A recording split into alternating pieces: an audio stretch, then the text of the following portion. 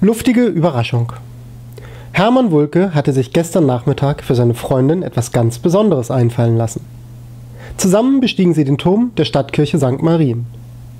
Oben angekommen, überraschte er die Ahnungslose mit einem Heiratsantrag. Die Antwort ließ nicht lange auf sich warten. Ja!